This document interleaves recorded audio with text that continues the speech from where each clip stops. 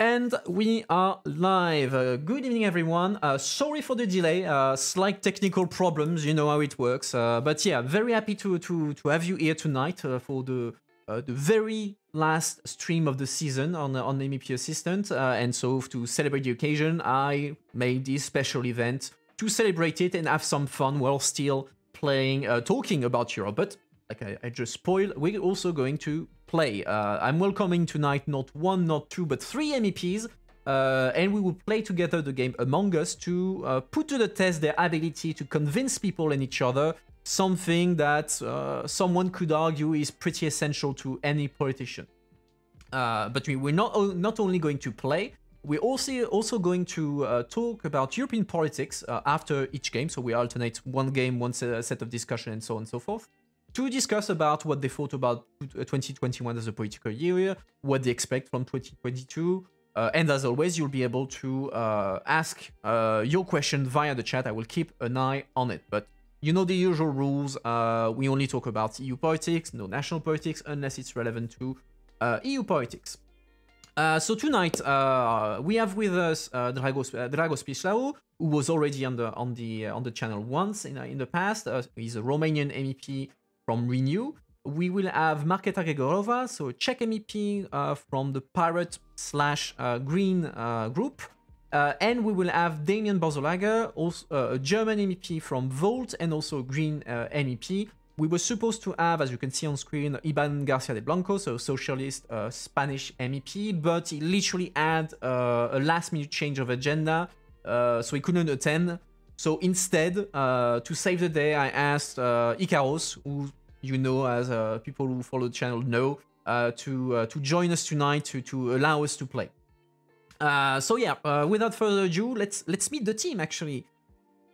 So good evening, uh, everyone. Thank you for taking the time to to join us and, and participate to the to this special event. Quite unusual, not the the, the usual event you're, you're attending as a as uh, as MEPs, but yeah, th- thank thank you very much for, for taking the time. So what I will ask you is uh, each of you to introduce yourself very briefly uh, to the to, to the audience. Uh, tell, s- tell them who you are, what you work on, uh, uh, where you come from, that sort of thing. So let's start uh, with Mrs. Gregorova. So tell us everything. Uh, everything but shortly, sure. Yeah. Uh, hi everyone. I was also on this channel already, and we miserably failed in playing Portal 2. Uh, I am, as I was introduced, a pirate from the Czech Republic, and uh, I focus mostly on hybrid threats such as disinformation or cy- cybersecurity. But I will discuss anything and everything, and of course, not lie about it, because I'm a crewmate.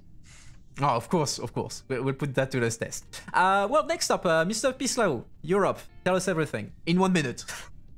Yeah, so thank you for having me again. Uh, and uh, um, I mean, for those of you who- haven't uh, seen uh, our common broadcast last time, I'm from Romania, from um, Union Save Romania, USR um, party, part of Renew Europe Group. Um, my main focus uh, this legislator is actually on the recovery. Uh, this was not planned in, in actually from 2019. I actually worked together with Damian, and we we have a very good team on that.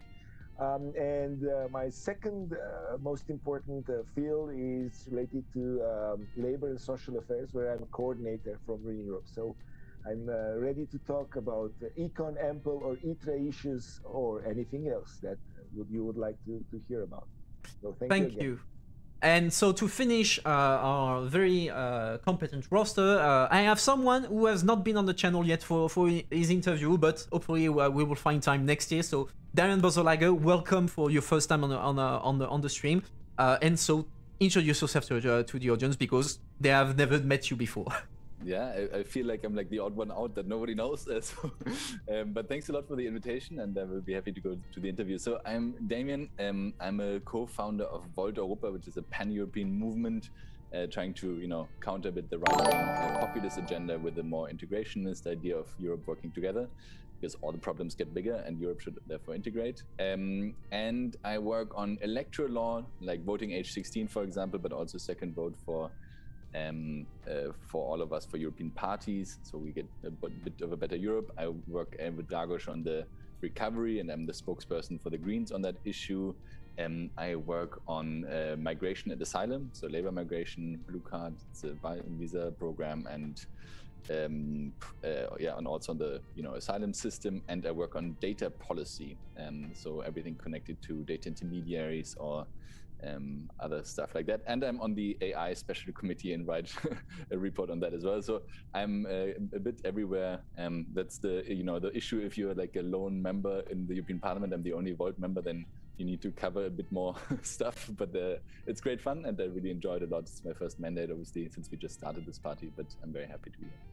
Well, actually, you're, you're all three of you are on your first mandate, so uh, uh, it's gonna be interesting to, to hear pro- to discuss a bit probably about your perspective, like uh, as first mandate and half of it being under COVID so far, uh, almost half of it being under COVID. Uh, that would make for an interesting conversation. So, just a quick first question: uh, Did you all have the occasion to work together as as MEPs in your respective committee? It seems that, of, of course, Marketa knows that Damian because they are from the, the, the same uh, political group, but it seems that Dragos and uh, Damian also have some history.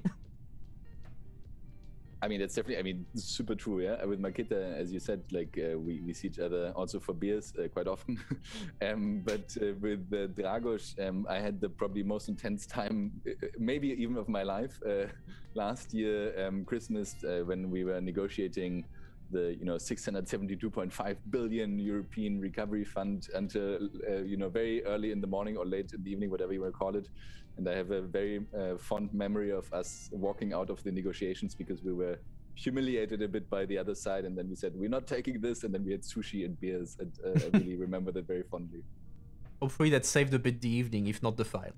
Uh, but actually, that, that would make for, for an interesting conversation. How, do, how did you leave the, uh, this uh, this through? And my second question, because when I, I was um, communicating around the event in preparation of tonight on Reddit, etc., people were were questioning what what is that MEPs playing video game? Are just they're trying to to uh, to do a, a hello fellow kids kind of thing? So the, the question that popped up often: Do you actually play video games on your own free time? And, and if yes, what are you playing? Uh, Marketa, start.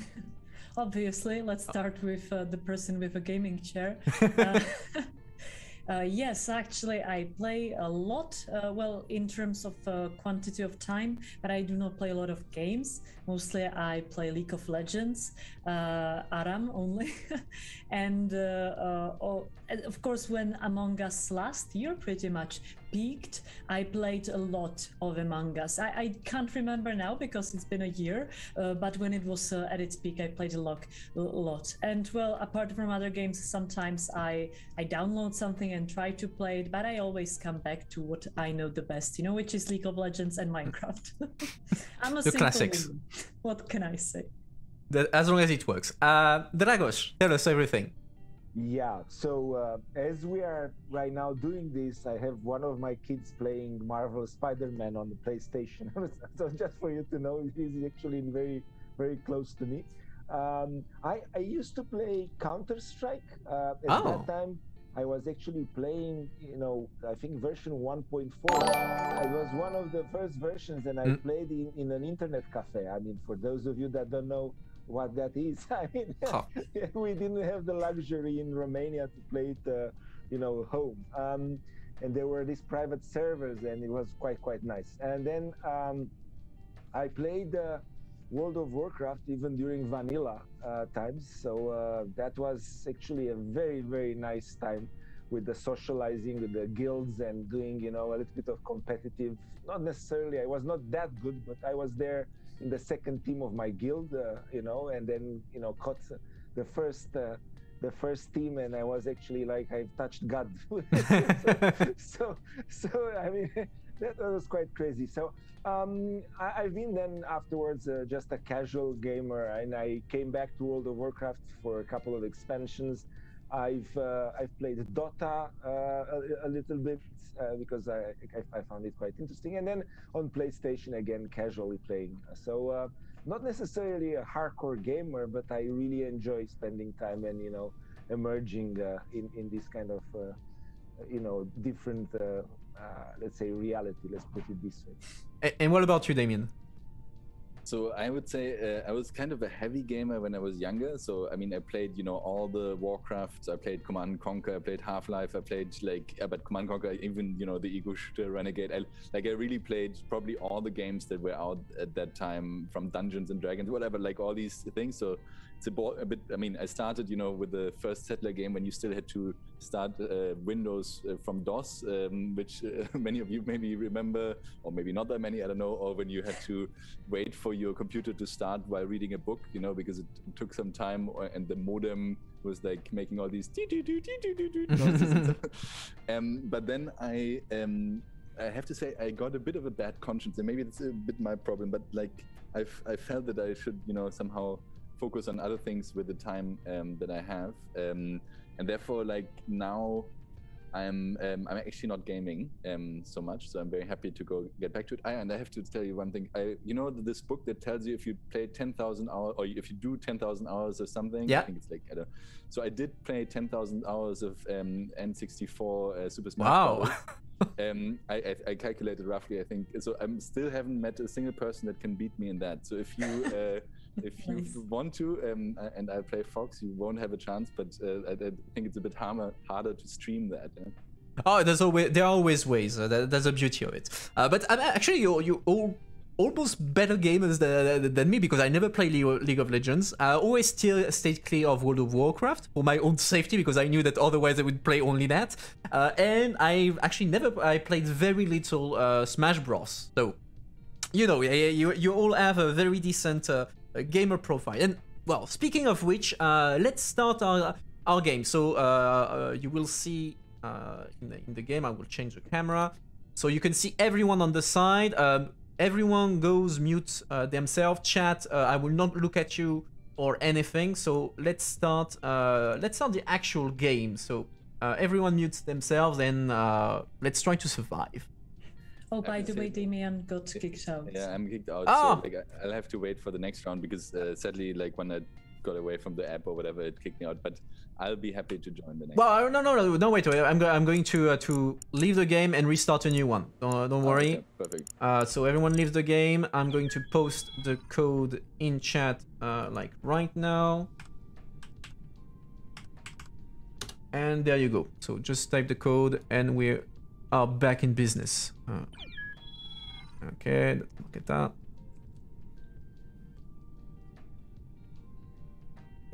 Finish the Green there. Bagosh. And yeah, just just as a warning for for, for, the audience, uh, be uh, be kind to Damian because uh, poor Raim is playing from his phone. we didn't manage to to make it work from his computer, so he's playing on his phone right now the the, the game.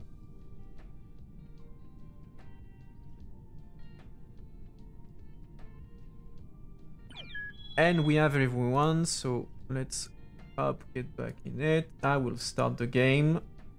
So everyone goes mute and see you in a minute. Alright, so myself, I'm hiding everything. I'm not looking at the chat. Oh, I'm imposter. Mhm. That's terrible. I invite people and uh, I'm going to have to kill them. You might want to mute yourself, MEP. I'm not muted? But let's just keep playing while that information is out there. Oh, shite! Uh, how come I, how come I'm not muted? Oh, because it changed my settings of, of my... I, I'm, have I'm excellent... calling- I have I very good defense. Bluffing. I didn't know you didn't do it on purpose. Oh, shit. I'm calling Uh, this pentalog to uh, put out there that I think I know who the Okay, imposter let- is. Let let me change my mic. Oh, I did change my. Uh, okay, let me check something. And now, Now we can, can't can you? you, yeah. Okay, so. Oh well, I, I I have a very good defense. I have a very good defense. Uh, it's not me. It's it's uh it's Mikkel. He, he hijacked my uh my mic and uh and all that. Th- Look, Yeah, I, sure, I, sure. I, I would, I would, I would defend myself in this case, but uh, I actually Ah. vote for myself. All right. Well, just vote for me. Let's finish it and restart. uh, see see how how much of a pro gamer I am. It's good that you, you know, uh, think, uh, make us think that you're bad at this game. But it isn't, Exactly. you know, It's it's all uh, Yeah. I'm playing meta. Uh, okay, I'm gonna Yeah. skip the vote that way. Oh, I get kicked. Really powerful psyops. Exactly, exactly. It's all to put you in trust. the, I was bluffing, you know. I was bluffing. Yeah. Oh well, I think he would have lasted one round and then. Uh... oh, I lost. Yeah. Play again. All right. This time, this time I will cut the mic for real. Oh, okay. I need to change That was just a tryout run. Now I Ah. get the game. Yeah, yeah. It's it's the first one who denounced himself. All right. Uh, now we're starting, and I will cut the mic. Let's cut all cut the mic, myself included. Oh, there are new colors. Nice. yeah, I just also changed mine. Yeah, well, wine red this. All right. I'm sorry you're not following your advice of cutting the mic. I hope it's okay. do do cut the mics, otherwise you're gonna make the same mistakes as me. As me. I don't underestimate us. Okay. Be. I'm not gonna say anything Okay, that's so going to. um, what's a task now? So how do I do a task?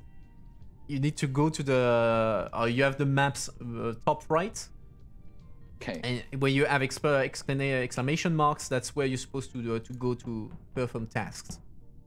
Okay.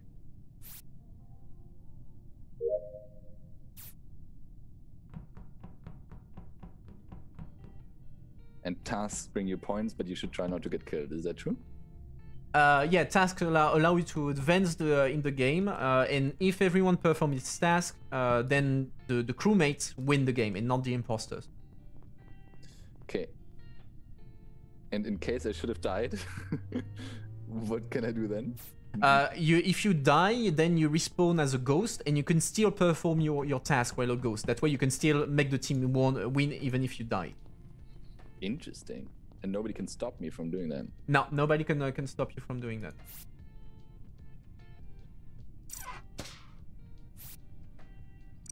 Oh.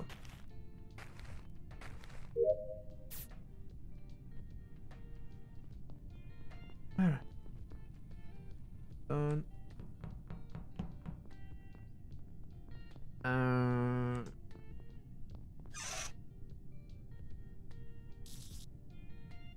Ah, ooh, I going? Kill. Kill I steal. Uh, uh, uh, run away. Navigation.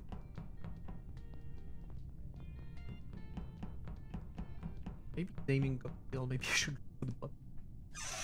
Oh, I'm gonna get killed. Ah, shh. Of course it's Mikkel. Of course it's Mikkel. Betrayed by my uh, by my own. Ah. What can you do?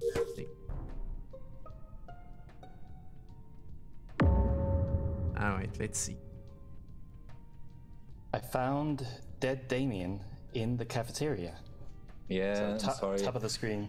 I'm sorry I died. Uh, It's I really tried to stay alive, huh? but they somehow um, I think two are dead actually. MEP and Actually, Yeah. I know the Hmm. imposter. I know. But the just, uh, just uh, precision, Damian. When, when, once you are killed, uh, stay silent because uh, that way you don't influence Marketa and Dragos, who are, who are supposed, uh, and, and Mikkel, who are supposed to, to find out who, who is yeah, what. yeah. Yeah, I was silent until this very moment when I was actually. So Dragos, you said you um, you know who the imposter is, but how? No. No, no, you're not. You're not supposed to speak. You're not supposed you to can't speak. You are dead. Shush! Shush!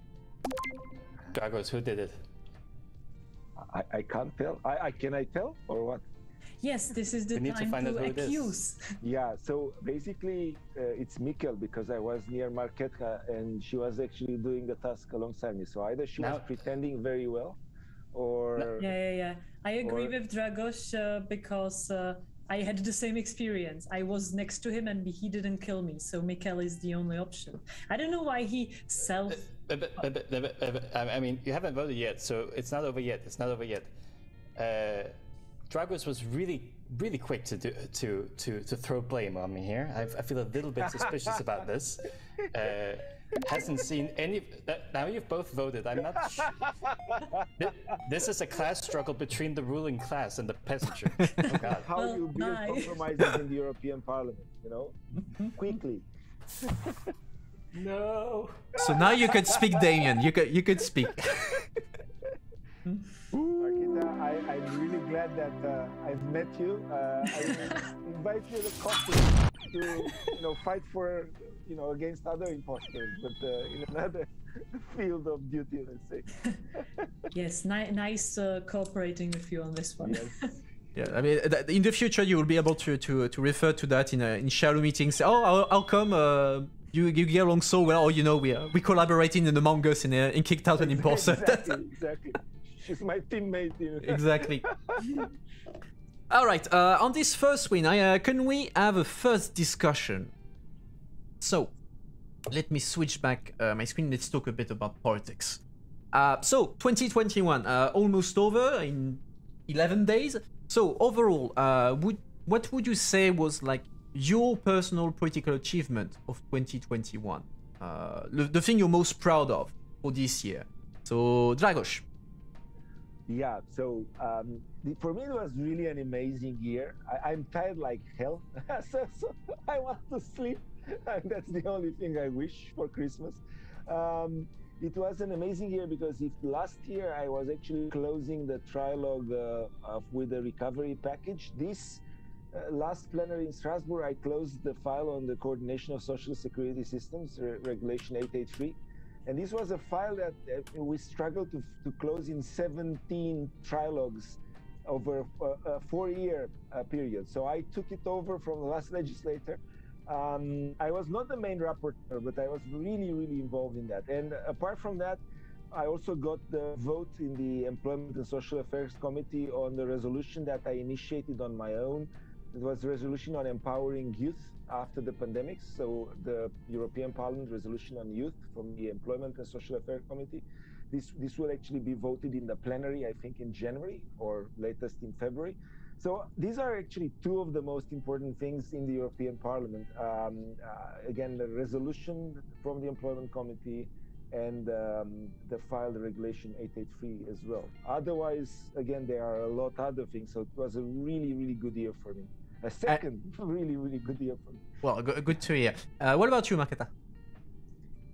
Um, well, for me, it would probably not be directly connected to legislation because I'm really proud uh, for my two campaigns that I was doing, uh, you know, within uh, uh, Czech Republic, because I, I found out that we can do that, or I found it even like the year before. But I really set my foot into it because for those of who don't know, MEPs have some, let's say, resources from their group for any kind of promotion of their work, mostly like um, you know uh, information campaigns. And I did two information campaigns. One is one was focused on disinformation and uh, what kind of threat it poses, and it created a lot of actually uh, output, and I'm quite proud uh, of it. And the second one was just uh, in like uh, before the uh, Czech parliamentary elections or some time before that, in terms of well, it was called politics is for everyone, and it was about motivating uh, young people, women, and other people who are usually not feeling uh, like those who should join politics or not not, not very encouraged. Uh, that you know this is also for for them. The, the main message was pretty much there is no high school of politics, and in the constitution, the only uh, the only limitation is either 18 or 21 years old. You know, going into politics. So you should and then of course uh, the campaign was focused on why what is it like to be a politician what's uh, the usual tasks how can you prepare etc and i think that a lot of people had a good feedback on it that they feel now more emancipated so that's very nice to hear always And, and what about you, uh, Damian? What was your highlight of the year? Yeah, it's uh, difficult to say. There was a lot of stuff going on, to be honest. So I, I just um, counted again, actually, um, a couple of days ago. I, uh, if you count the recovery fund, um, I work or negotiated, closed this year five uh, legislative files. Um, but if you don't count it, I mean, it's four. Um, it's two aside, or like two migration files. One on the blue card, which basically allows people to come, um, you know, more more easily to Europe if they want. But also, it's really important to change um, you know, country very easily. So before you were quite of, I mean, the European Union is great. You can travel as an EU citizen everywhere and work everywhere. But if you're a migrant, you can't. You know, it's really like 27 different countries, and we changed that a bit, at least for the blue card holders, because they can now very easily go from one country to the next, and they can take the years with them that they accumulate towards long-term residency, so that they are actually mobile. Um, the other one is the European Asylum Agency, which is a bit of an update of uh, an office that was already there, which was really cool, uh, giving a bit more or standardizing a bit the European asylum system. Um, and the next one was the Data Governance Act, which is about data intermediaries, uh, basically uh, ensuring that they're neutral and that we at some point have stock exchanges for data, if you like, in a way. And the last one was uh, really uh, very busy time, which was the budget for the next year of the European Union, um, and there I was responsible for like uh, all the institutions like the Court of Justice and the Court of Auditors and the European Parliament and so. So there was a lot of uh, stuff, a lot of negotiations, um, but um, I think it was cool. There were also some campaigns. I mean, I don't know. There was a lot of stuff, and there was also elections in Germany, which uh, was quite busy. So I don't know. I think um, I just realized uh, time and time again it's only possible to do all of this with a really good team. And so the, I think the highlight of my year is still uh, to have an amazing team, I guess. And uh, sorry, I had launched the game uh, so that we didn't kicked out of the of the lobby, but actually we got kicked out anyway. So I'm just gonna post uh, for you, Damian, the code. Bear with me a second. And so, like like we mentioned already in the introduction, it's for for all three of you, it's your first mandate, uh, and you spent like now a year and a half, uh, more than a year and a half, two years now in uh, under COVID. So so how does it feel for uh, uh, for, an MEP like to to find yourself discovering your mandate, but it's not really a, a mandate like uh, like the other. So so how do you manage that? Wants to start? Yeah, go ahead. Uh, it's a okay. it's open discussion. It's open discussion. okay.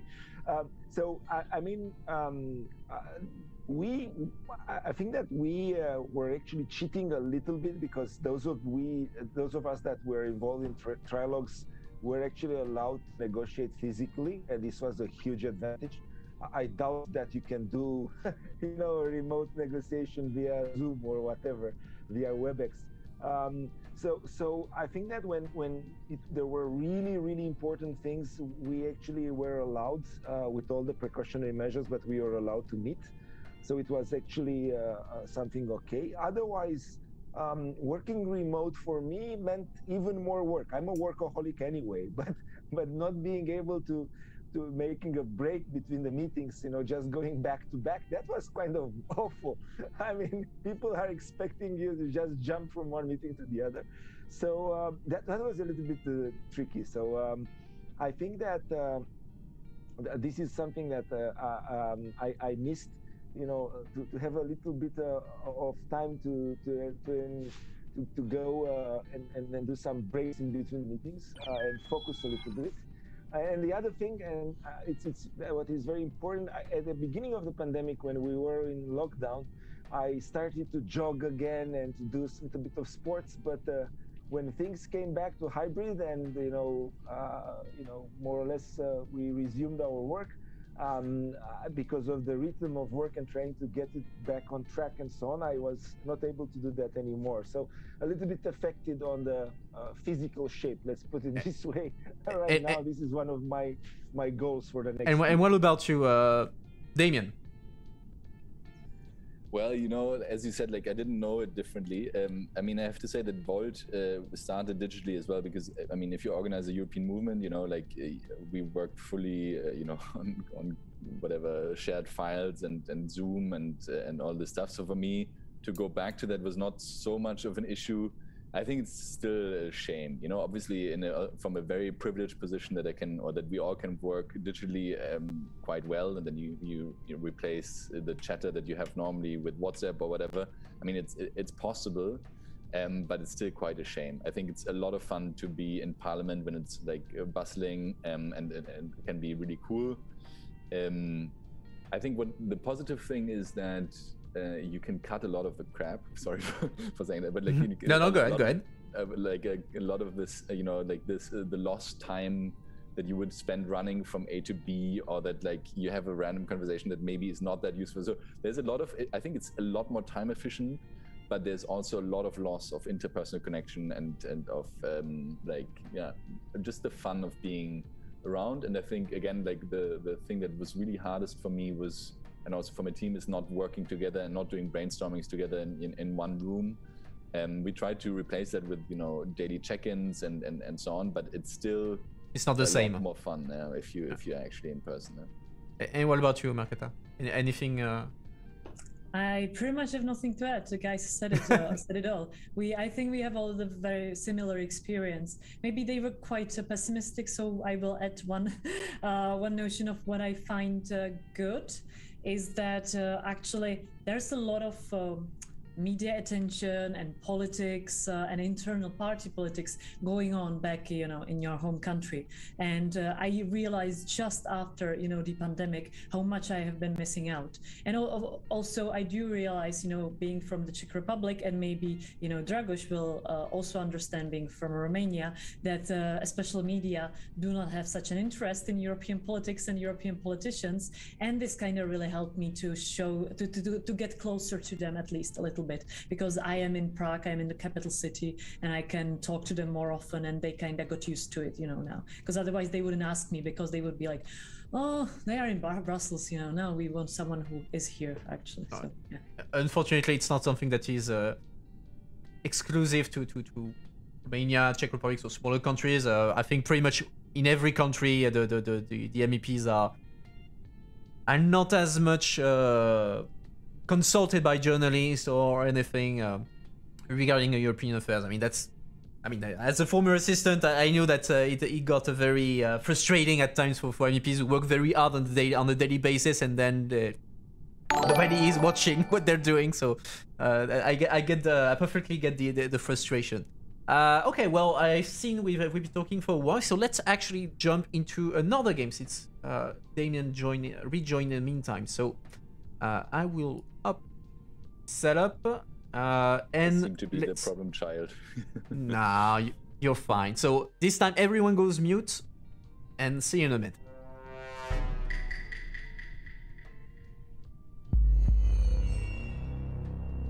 I feel less professional because you all have cool backgrounds, like Dragos and Marketa. Even Marketa, I think.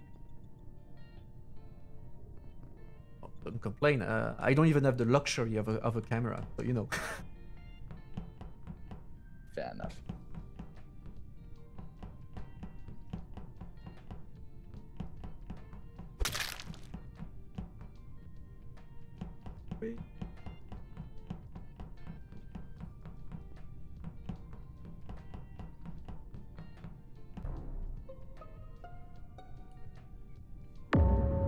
All right.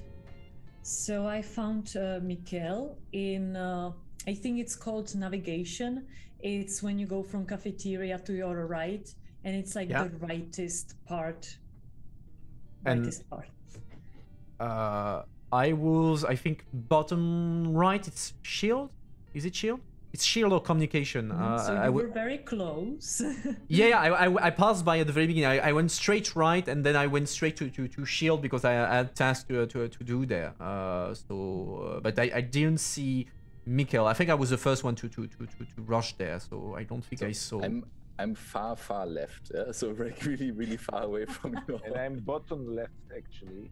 So, So- uh, uh, that's actually quite interesting. So Marketa either reported herself, basically the, the Uh, dead body, and possible, Which Oh, would yeah. be the ter- most terrible gameplay ever, but or it's uh, Ah, or it's uh, been seen it's been seen a Mr. MEP assistant, uh, which I would personally believe it is. Hmm. Well, we don't have to vote yet. But uh, Uh, we should definitely you know, Well, someone. of course, Damian and Dragos do not have any kind of evidence for being uh, Yeah, I mean- left, you know. So, well, did you did you cross each other did, did you cross each other or uh, No. No, I No? didn't see Dragic. I was actually, I, I don't know, it took a while and I just walked left and then I realized that my map says I have to go right. But anyways, And what doesn't kind of tasks are you doing, Damian? matter. I'm not doing any, I just walked left actually. And then I, I, I mean, the good thing is if you vote for, if you vote for someone and you can later on check a bit, you know, where everybody is, um, you can see that I'm like uh, really far left. Ooh, it's gone. We can't vote yeah anymore. no no one no one was ejected Yeah. so uh, it's another round so let's go mute again Really... Um, so then it's definitely the MVP guy. I'm going to follow him and uh, see what he does.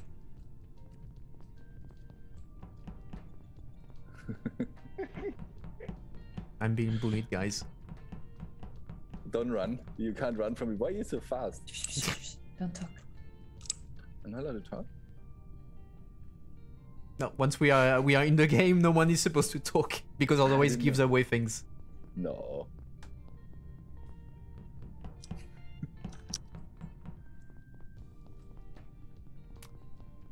Fine.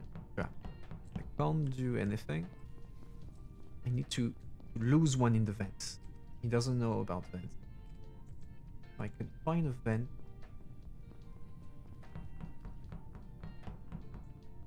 I think I'm a tiny bit faster than him. And I have larger vision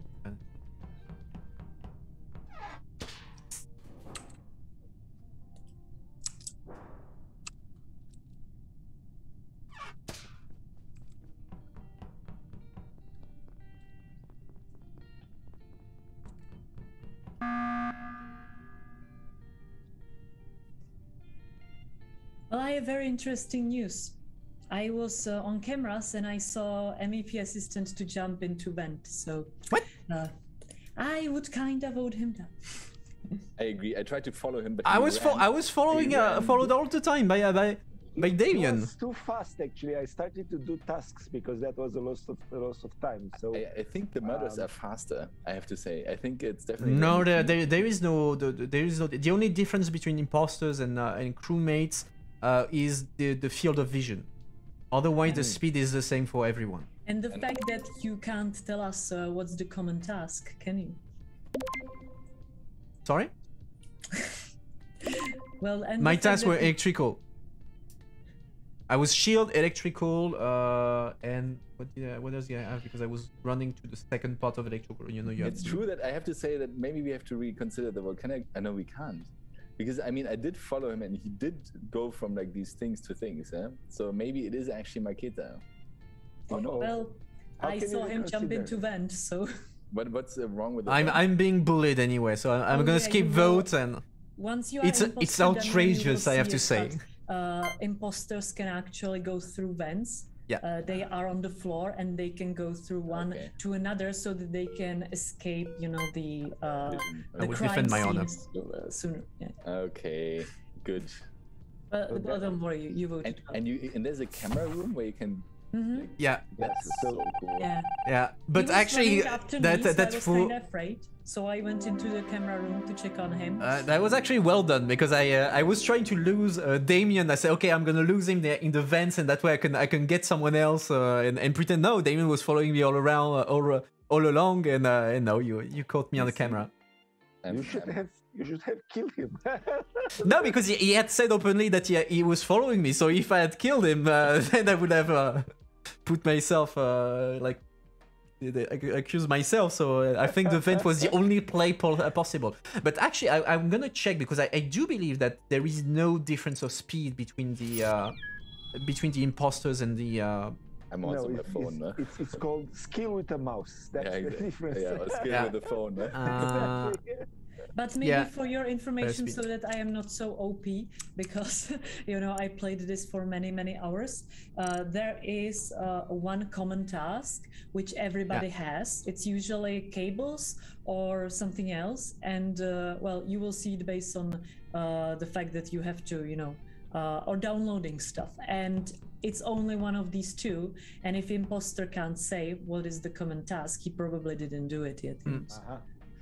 Uh, we're only missing Dragos. Oh, sorry for that. Yeah, no problem, no problem, no problem. I forgot to, to, to, to press the button. Yeah, thank I, I know it's a satisfaction of surviving. Uh, exactly. At, at So least, I mean, I, I had the I had the common decency of not murdering uh, an MEP. I, I, I went for Mikkel, so you know it was uh, it was revenge. Okay, So we're not. I, mean, I also was obviously mean because I said I would follow you. So I'm, we're, uh, the rule is we're not talking about the game at all during. yeah. the The the rule, the basic rule is that apart from the moment where we are in meetings, we're not supposed to talk. Ah.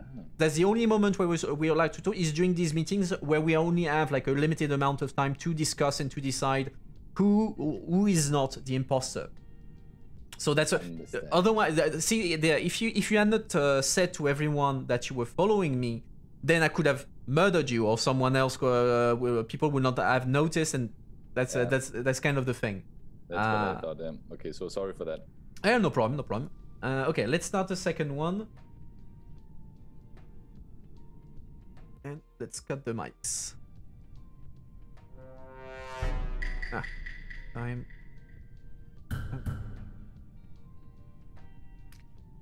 Uh, let's try not to get murdered. Uh, where am I? Oh, wait.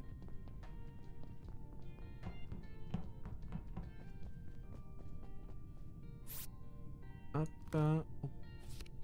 Drag. Poster. Uh. Let's look at the common task. Which one is the common task? I don't know. Uh, maybe it's uh, electrical? I don't know. I don't know what's the common task.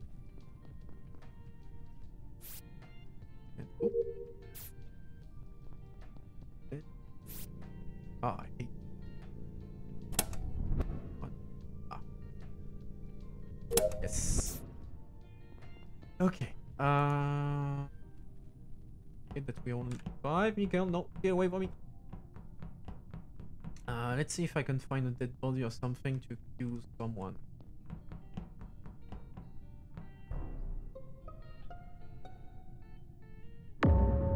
Uh, okay, so I found Dragos in uh, communication, so that's uh, very south of uh, of the map. Uh, and the only people uh, person I saw was Mikhail, uh, who was arriving from that direction. I actually fled him, ran from him for a bit because I thought he was going to murder me, and then he went to electrical. But he's the only one I saw coming from the south. This is why I Just- mentioned that being to in clarify, electrical. I, I, I don't. I am not right. Uh, I am not allowed to, to, to speak, right? No, you're not allowed. You're not allowed. You're, you're dead. Okay. Dead. Don't speak. Good. I'm not speaking. I was going to comms to do a task, and I saw Damian running from the direction, uh, and then going after me. So I'm, I'm su- uh, suspecting him. You know. I was actually just running because I still don't get this map. I was just running to the electrical, and uh, I don't know. Like I'm, I'm still getting confused. But um, yeah, I don't know. That's what an imposter would say, but I, I respect the fact that you're playing on a phone, of course. Uh, and, and Mikhail, wh- what were you doing? I mean, was you- Well, uh, uh, as as as aforementioned by yourself, I was uh, what, what is the central thing? Admin, right? I was uh, doing a card swipe and admin, and then I walked past uh, Marketa, and then uh, walked past you, who were following me a little bit, and then into electrical, and that was about it. I- Is it possible for people to all have the same task? Because I also had card swipe, and I think Dragos was also uh, doing yeah, card that's the common task actually, and because Mikhail knows it, and Damian, um, you know, went from Oh. south. Um, Okay. I, I, it's all, that's weird. I, I don't see the the common task. I didn't see it. But anyway, uh, maybe I did it first and uh, no one else. All right. yeah. Let, let's go mute. Uh, okay, so it's either Marketa or uh, Damian. Uh, where the hell am I going? Ah, web. When in doubt, blame the instant. Indeed, uh, classic. Fix like, oh, I thought. Uh... Okay. Fixing. Oh, it's an easy one. Uh. Yes, uh. Rush.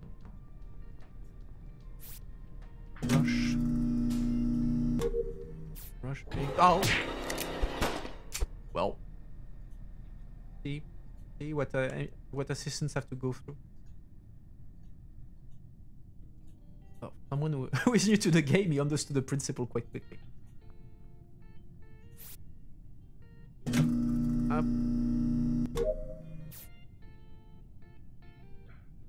have uh, blame Damian, as Marketa was saying. That's on me. That's on me.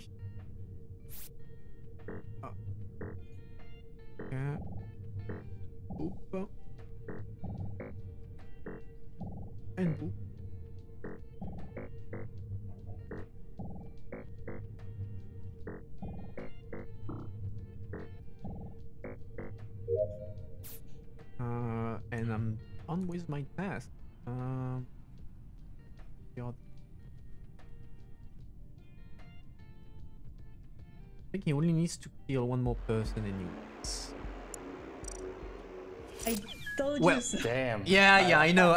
Exactly the uh, moment I say, oh, I made a mistake, but I mean, for, for someone who is like on this second game, uh, not too bad, Damon. Not too bad. and on the phone. Nice. and on the phone, and on the phone, indeed. Yeah, That's some he's pro such gaming. a nice. He's such a nice guy. I mean, even when he's a criminal, he he.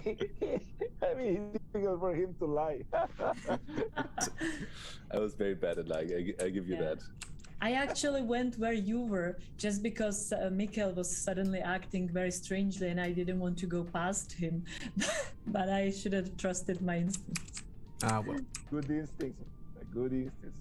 So I, I basically, if there's just two people left, then Yes, you automatically win. Okay. So you're in this con- configuration, you only need like to kill three people, and then you you win. Uh, so that's that's how it uh, it works. Uh, let's have a bit of a conversation, if you if you don't mind. So let me switch the settings where you're all on the main screen. So we talked a bit about 2021. Uh, let's talk a bit about the future. Uh, 11 days in the future, to uh, to, to be exact. So 2022. There will be a new presidency, French presidency. I'm French. I'm very happy about that. Uh, then it's gonna be the, the Czech uh, presidency uh, for the for the second semester. Um, and well, actually, since uh, since you, you you didn't have the occasion to speak much, Market, I will I will start with you with this question. So, uh, since there will be the the Czech presidency in the in the second semester of 20, 2022, have you been involved into the, the, the preparation of this uh, of the agenda of the presidency? Have you been consulted by the government? How does it work? Well, we just got into the government actually, so uh, we still have a lot of work in front of us. Just today, I actually received an email because uh, within the Pirate Party, I uh, I take care of uh, the team for Europe, uh, European affairs, security, uh, you know, defense, etc., and international affairs. And just today, I received a 300 pages long document about the you know plans and well stuff that will the current government deal with for the Czech presidency. And uh, my team is supposed to give our opinions on the opinions of previous government, you know, so that we can uh, change it potentially. So a lot of work is ahead of us. But to your question, yes, we can influence it. But the work is starting actually now because you know, unfortunately, we just had elections, so we couldn't do it sooner because the previous government did not really consult anything with uh, opposition. Okay, that, that's interesting because I know that, for instance, for the for the French presidency, uh, they were having uh, regular meetings with pretty much all the, uh, the MEPs from all the parties, like to coordinate to say, okay, we're gonna push for this, we're gonna push for that, uh, give have a bit of feedback. Of course, like the, the MEPs who are from the uh, from the party of the of the government, so Renew in, the, in this case, were probably uh, more consulted than the other. But I knew that they were they were like still regular meetings. Uh, consultation from the French authority with MEPs from the, from all the all the parties, including those in the opposition, to associate them to the work and say, okay, Mm. well, let's see as uh, as French uh, French uh, priorities how we can uh, we can push together. So that uh, Yeah, well, I, I of course don't want to uh, go too much into national politics here, but uh, we didn't really have a politician as a prime minister previously. He was a businessman, an oligarch, so he didn't really care, you know, that much. Um, so hopefully now, even though I'm not completely in line with the ideology of the new government, uh, they still at least do care about the politics and doing it properly. So, so that's good. And uh, sorry, I didn't follow the, the, the, the composition of the new government. I know it's a coalition government, but uh, uh, are the pirates part of it, or are they supporting it only in, in parliament? Uh, we are not needed in terms of numbers, but we are part of it because we also went into the elections uh, in a coalition. Yeah. And, uh, you know, we agreed that we will go into coalition as part of the coalition. Okay. And and speaking of new government, so the, the one uh, that has been pretty much under the, the, the spotlight uh, lately is the new German government. Uh, so not 2022, but I mean, uh, you, the new uh, the new government under Olaf Scholz uh, uh, got to uh, became chancellor like a couple of weeks ago. So I will uh, he will get actually to work in, uh, in 2022. So uh, and there was a lot of. Uh, tension grabbing uh, around the European policy of the new government because we saw in the new coalition agreement for instance, the, the the call of the the, offi- the official position of the coalition that Germany would officially push for the, the the creation of a European federation, uh, which, to my knowledge, is the first time uh, a, a government actually takes the official position that uh, we want a we want a, a European federation. So ultimately, that means that they would stop to be a, a, German government, uh, uh, so, so, to say. It, it would be uh, melted, so to say, inside a, European government. So, any any insights on, on on that and how why why is there such a European push in the new government, Damian? Yeah, I'll, I'll, now give you a bit of a, daring theory, which uh, can definitely be, uh, you know, uh, rejected. Um, but a year ago, the German Greens um, put into their uh, party program the uh, like their foundation program that they want to have a European um, republic. And um, they, like a lot of the Greens, told me that on the party assembly where this was discussed, this was also done because they wanted to ensure that Volt doesn't steal any more seats uh, from them. And then half a year ago, the um, FDP, uh, so the Liberals, did the same. They also put it in the, in the election program. And again, I talked to some of the MEPs, and they said, "Yeah, obviously we used as pro-Europeans, we used Volt as a threat." Um, and so now uh, these two parties are obviously, you know, together in, in government, and they have this very pro-European program, which makes me extremely happy. And it, it honestly, um, you know, even if we only contributed an inch to it, um, I think it's really cool, and it's really the theory of change of Volt that we thought about when we started that in the end we need to steal and, and be annoying in every you know European member state um, so that people actually adopt our positions and, and push for more European integration. And so this makes me extremely happy. I think it's a very strong agreement. And I just I think from a Volt perspective, we will now uh, try to ensure that it actually you know annoy them again to see that it actually happens because it's one thing to write that we want a European you know integration process, uh, European parliamentary democracy or European Federal Republic, and the other is to actually push for it and, and develop a clear timeline together with other countries. Yeah, so um, I think our task is not done, but my hope really is now, if you ask me what I'm looking forward to, you know, um, is to build uh, Volt chapters in all European countries, um, and then hopefully steal a couple of seats from from all parties, so that all of them then say, "Let's go for integration," or at and, least like the bigger ones. Yeah. But do you feel it's in line with what uh, what people are thinking? Because uh, what uh, what people I mean like regular citizens. Because before the stream, I was looking like to prepare a bit uh, the uh, the latest Eurobarometer and uh, from spring 2021, and I looked at the at the at the page for Germany, and I was actually surprised because I, I saw that the the level of trust that German citizens have towards the EU uh, is lower than the average of the EU and actually lower, the lowest from all the member states I consulted, so Czech Republic, Romania, and Spain and Germany. Uh, from memory, it was at 47 or 46% of trust to, to, towards the EU. So but whose fault is that? You know, the question is a bit, um, what are politicians doing? Yeah? And most of them go for the easy option of saying, like, we are national politicians, and the Europeans they're just annoying us, you know. And if with something good comes, they say that was my idea, and if something bad comes, they say, oh, it was Europe. So I think what we really need is uh, courageous leaders in politics that actually tell a positive narrative about what Europe could be and this is not happening very often. And i mean that leads then you know in, in the uk is such a good example because there even the pro-europeans try to say yeah europe is bad but there's also some good sides you know? But uh, to understand that this is the biggest success project i mean i don't have to give the speech about why europe is great in, mm. in, this context yeah?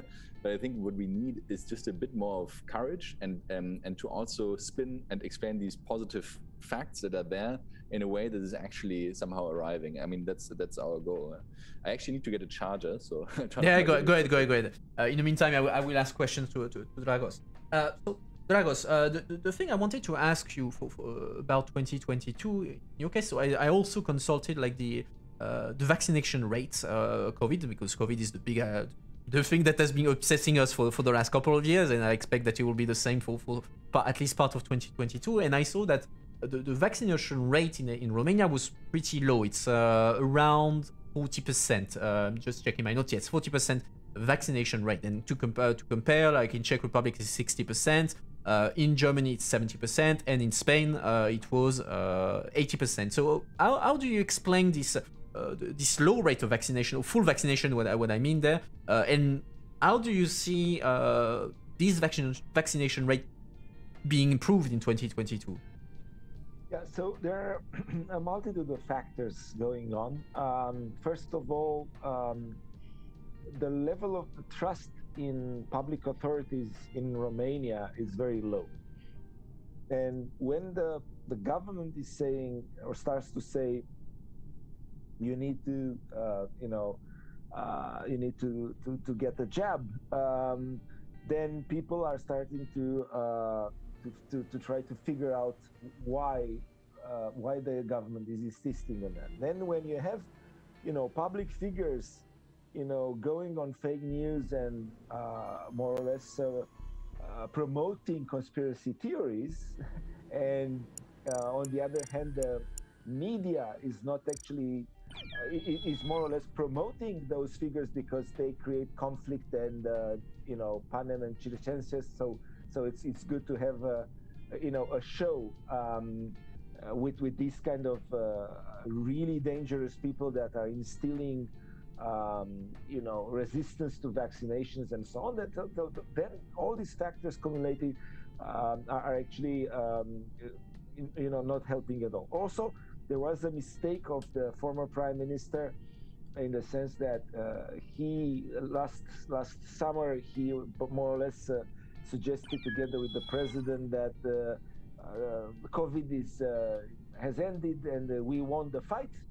So basically, everyone relaxed massively, and we we then had trouble in explaining people why we are asking them again to you know to go and um, you know push the vaccination process so so i would uh, really believe that right now um, people have actually started to understand um, the fact that um, you know the vaccination uh, is, is is a process that that really it's a question of personal responsibility towards the others and not only you know something to protect yourself.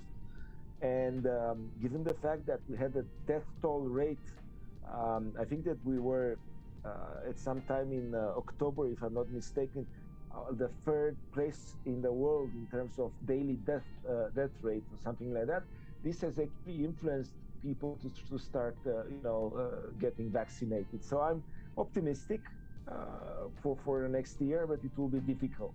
Um, and if I also may add something related uh, now on the previous topic of uh, the next presidencies, uh, we at Renew Europe we were quite excited because the French presidency invited us invited us in Paris. We had a coordinators reunion in Paris with uh, you know direct one to direct uh, meetings with ministers that are uh, involved in the agenda of the presidency. So so this was uh, something very very useful, and uh, it was a very good rehearsal for the French government, uh, the, the, ministers. before they will come to parliament and present the, their priorities, actually soon enough in January, and, I, and for us as well as coordinators was very useful in understanding the underpinnings of the of the priorities that the French presidency is uh, putting forward. So um, I just wanted to add that as well. Okay, uh, I'll ju- just uh, I, I, will give the, the uh, a voice uh, to the, the silent member of the of the of the of our Zoom call to Mikhail, who has been kind enough to help us uh, play tonight. So so Mikhail, I'll give you the opportunity to to, to, to ask a question to, to to our guest tonight. So ask a general question so that anyone can uh, can answer answer in pitching. And also in the meantime, chat if you want to ask questions, don't you can suggest question. I'm looking at it so I can, I can relay your question. So, Mikhail, uh, what would you like to ask uh, our guest tonight? Oh man, that's a lot of pressure. Uh, I, I, I, guess while stalling for time, I'll come up with uh, a little uh, general question in the form of um, what what um, what has made you hopeful about the future in the past year? Okay, I will I will start on this one. So, I mean, the response that people have actually put forward in uh, times of hardship during the pandemic was impressive. So the those solidarity moments where everyone mobilized and tried and started to to help their neighbors and you know young people helping the elderly and and you know this kind of uh, thing that happened at the European level as well in terms of solidarity and, and completely different than the austerity in 2007 and 8 um, and, and the simple fact that that uh, at, at, you know in, in times of hardship you have this kind of uh, mobilization and and, and the, the, the, the social tissue is uh, is recomposing itself. I mean that's really really great. And I, I do believe that if there if there is scope for hope next year is because of the fact that people get united when you know I, I should put it non-academically shit hits the fan. So um, that that's something that I I discovered and was really really uh, important for me, and that this is the kind of thing that I'm trying to promote right now and showing that this is the path forward, both at national level and at European level as well. And, and what about you, uh, Marketa? What gives you hope for, for next year?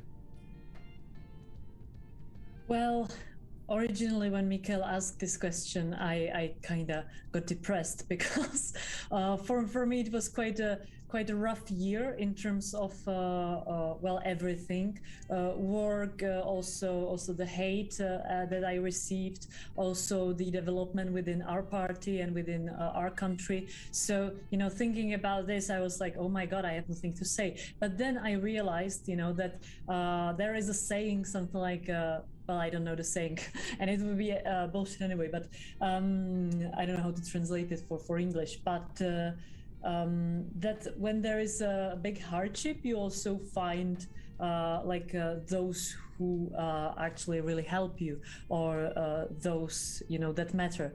And in this regard i think this uh, this year was really fruitful and it gives me hope in general because i met so many amazing people that uh, you know i just can't stay depressed or uh, pessimistic about the future. I know that they are there and that they want to make changes. And even if on all of our paths there are people blocking us um, either evil or just dumb um, you know, if we if we, if we prevail, uh, I see in these people really bright future. So so that really motivates me.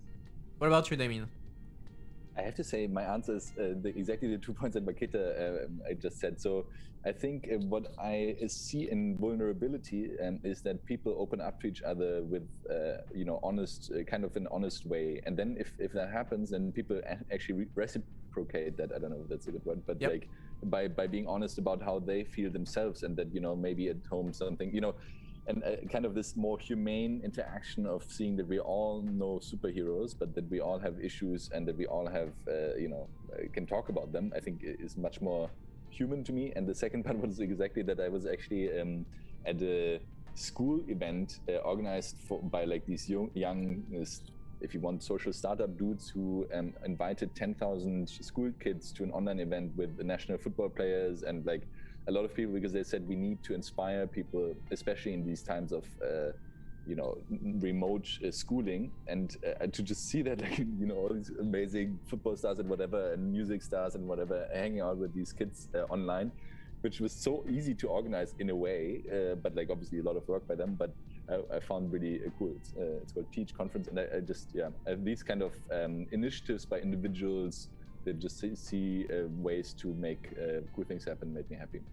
Uh, and a couple of questions now, uh, more politic, more political, more on policy. So I have a question in the chat who is asking where do you stand about the place of nuclear in the in the in the EU? So as you know, in the EU there is a a debate of what, what is called the, the green taxonomy, so a European label to try to direct investment towards uh, green energy or transition energies, and there's a debate on whether uh, nuclear should be included in this green taxonomy, so receive this label. So, do you think that uh, nuclear should benefit from uh, from this green label or not? Who wants to start? I mean, if you like a very, very clear-cut answer, Damian should yeah. start, actually. okay, I, I, I won't clear, uh, clear-cut answer, that way we can ask more questions. So Damian, clear-cut answer. Um, so it's actually not 100% easy because we're an innovation-friendly party. Yeah. Um, but the, the issue Damian seems surprised. no, no. But the, the, the issue is that um, I mean our stance on current nuclear technology is an absolute no. Yeah? So it should not be included in the taxonomy 100%. So, but we are in, in general not 100% closed to, to, future technologies, you know, future levels of, uh, you know, technology to, to figure out what's happening because we are open for all new innovations to, to look at. But uh, with the current technology and the current waste issues and the current risks, uh, it's, it's a clear no for us. And Drago, since you you threw Damian under the bus, what about you? yeah, so um, for us in Renew Europe, we have quite a debate uh, because we are a centrist group that uh, is actually both uh, very very interested about the environment. At the same time we are uh, you know very much promoting market economy um, and uh, and the industry as well.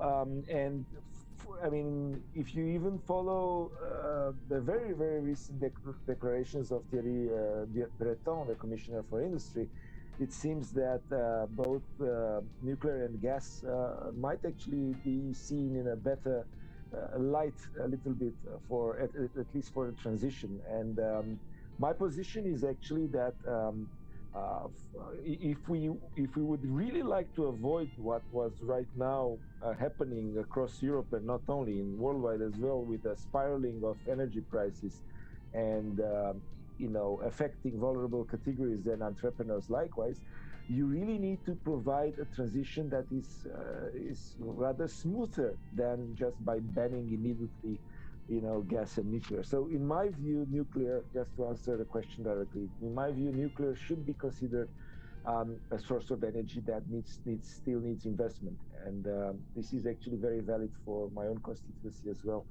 Um, we, we actually uh, are, are, are having two reactors that needs to be uh, um, you know built up uh, and then we've actually postponed that project for a lot and I really believe that we need those reactors uh, in place. And, and what about you, Marketa? Well, this is boring. We are not in a disagreement at all. Uh, pirates are also like, uh, even though we are in the Greens group, uh, we are very uh, database techno optimistic uh, party uh, looking at innovations. So uh, of course, that uh, you know I kind of combine uh, the opinions that Damian and Dragos already mentioned. That you know we are looking into new technologies and innovations, and that should be our core issue. Let's say even investments in mm-hmm. in you know science and exploration of new technologies.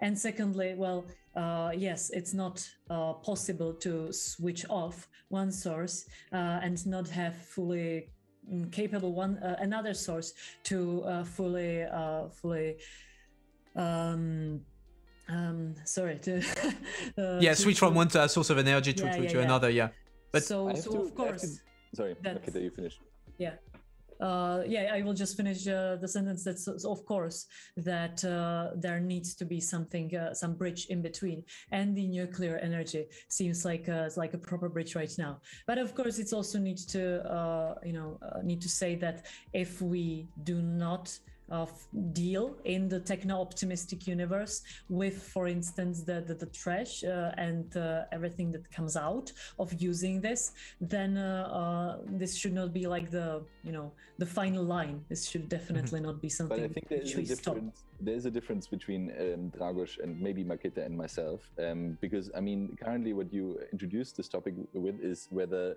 you know green energy, sorry, nuclear energy should be seen as green under the taxonomy. Yeah. And here there, there's a uh, like a clear no from us, yeah, because the current technology is not green. I mean that's that's basically what what we are saying. Um, and so I think you know this means potentially millions, uh, maybe billions of non-funding funding and so on. So just to say that there is a stark difference, I think, in, in the approach to the current nuclear technologies uh, from from us to the others. Yeah, yeah, but at the same time, I, I thought it was interesting, at least the the, the, the position for, for, for Marketa and, you, Damian, because you don't have like the, the, the, typical, like what I would call the typical green uh, position. You're, you're pirate and you vote, so you're not actually from the green parties, but when you talk to, to uh, to green actual green MEPs, they would say no. Uh, uh, as a principle, uh, nuclear is is a bad technology where it, uh, it, it has too much risk, so we should, we should not even look into it. Uh, we don't trust the, even the the potential uh, positive development about, about nuclear. So in a way, you're more open to the to the technology, to its potential future development than uh, what you can hear from uh, from uh, what I would call regular uh, Greens, like from the actual from actual Green Party. So that that's that's interesting as well.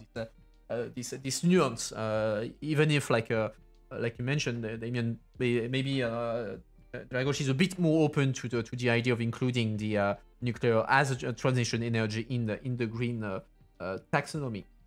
Uh, another uh, very quick, very yes no answer uh, there. in January, you will have to elect a new president of the European Parliament, and there is kind of a clash.